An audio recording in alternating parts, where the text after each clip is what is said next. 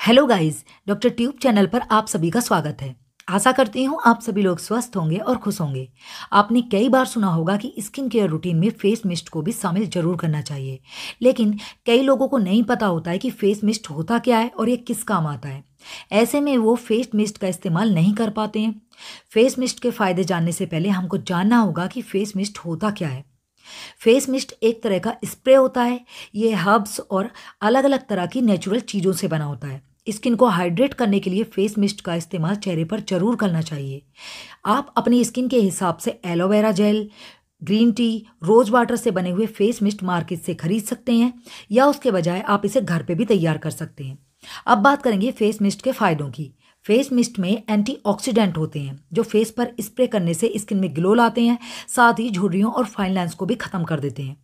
इसके अलावा चेहरे पे मौजूद ब्लैक स्पॉट्स को कम करने के साथ साथ ये ओपन पोर्स की प्रॉब्लम को भी कम करते हैं।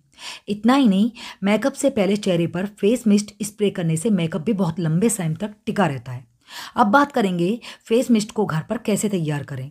सबसे पहले आधा कटोरी चावल लें और उन्हें अच्छे से धो लें। याद रखें, चावलों को धोने के लिए ठंडे पानी का यूज़ करें।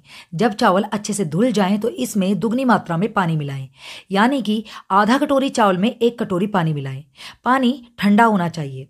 अब नींबू की छोटे छोटे गोल स्लाइस करके इसमें काट कर डाल दें और इसे दो घंटे के लिए ऐसे ही छोड़ दें। उसके बाद नींबू को इसमें निचोड़ें और चावलों को थोड़ा थोड़ा सा क्रस करें।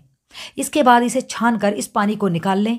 अब आपका फेस मिस्ट तैयार है और इसे आप अपने चेहरे पर अप्लाई कर सकते हैं। आपको आज की जानकारी कैसी लगी हमें कमेंट करके ज़रूर बताएँ। धन्यवाद।